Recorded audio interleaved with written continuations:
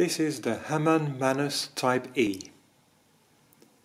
In an earlier video I showed the Type F, which has several improvements over this version.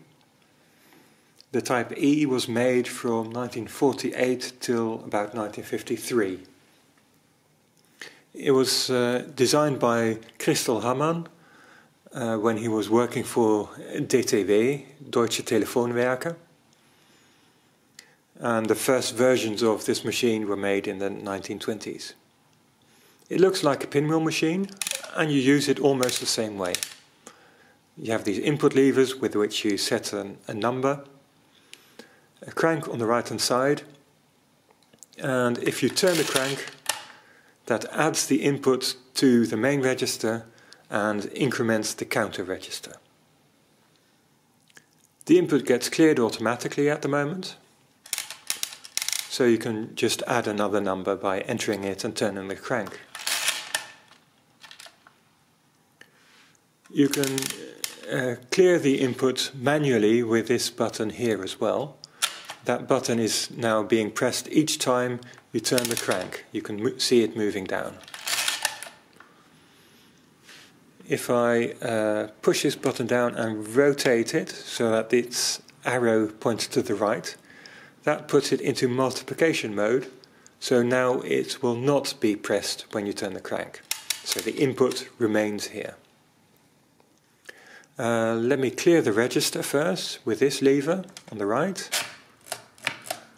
And I'll clear the counter with the lever on the left. The, uh, the uh, Type F machine has both these clearing levers on the right so that you can clear both counters with one hand in one movement. Anyway, it's now in multiplication mode, and that allows you to add the input several times just by turning the, turning the crank several times. So that you can do a small multiplication. I can shift the carriage with these arrow buttons. I'll shift it to the right, and then I can turn the crank to uh, do the tens of the uh, multiplier. So now I've multiplied this input number by 64 instead of just 4. And if I shift it again, I can do the hundreds. And so on.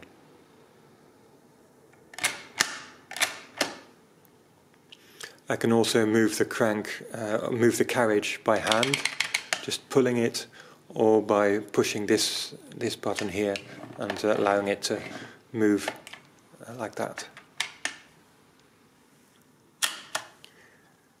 Uh, to subtract, I can't just turn the crank in the opposite direction. Instead, I have to switch it to subtraction mode, and that's by, done by shifting this uh, button from add to subtract. The carriage moved slightly to the right, and what that does is it uh, connects the uh, main register to the rest of the mechanism through an intermediate gear instead of directly. And that makes them turn in the opposite direction, so that now when I turn the crank, it will subtract.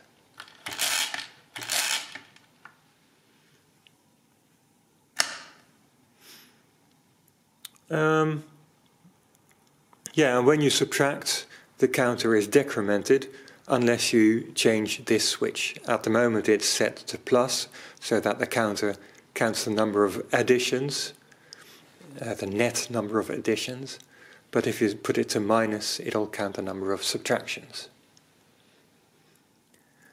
So I've done addition, subtraction and multiplication. The party trick of this machine is that it also does uh, division, but it does it automatically. So let's uh, show you how to do that. First I'll enter uh, a number, I'll move this all the way to the right. I can also enter a number in the register using these uh, yeah, these wheels directly, just set it directly. And I'll divide 355 by 113, the classic approximation to pi.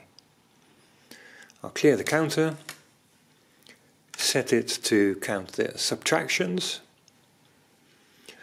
I don't have to explicitly uh, set it to subtraction mode, but I have to set it into uh, division mode, which is done by put, pushing the carriage to the right a bit further and pushing in this, uh, this at the front.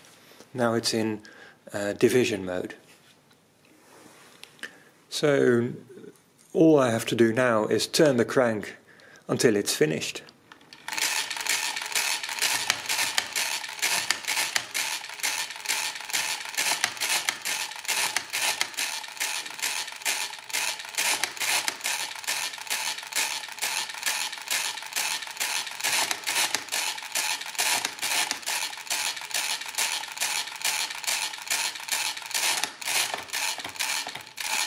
At the end, it, uh, when the carriage is moved all the way to the left, nothing happens when you turn the crank. It's now no longer connected to the rest of the mechanism. And the result of the division uh, can be shown, can be read off here, 3.1415929. The remainder of the division is 23.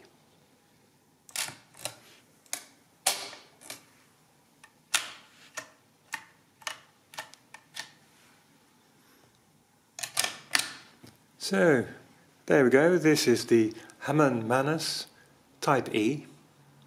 Thank you for watching.